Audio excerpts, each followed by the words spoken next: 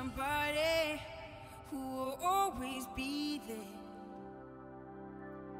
Don't you promise me the world, all that I've already.